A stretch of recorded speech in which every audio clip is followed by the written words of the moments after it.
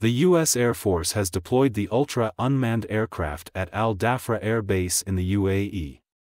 Costing $8 million each, this cutting-edge drone offers unparalleled endurance and cost efficiency, addressing limitations of traditional ISR platforms. Developed from earlier programs like LEAP, it leverages innovative approaches to aviation and UAS development.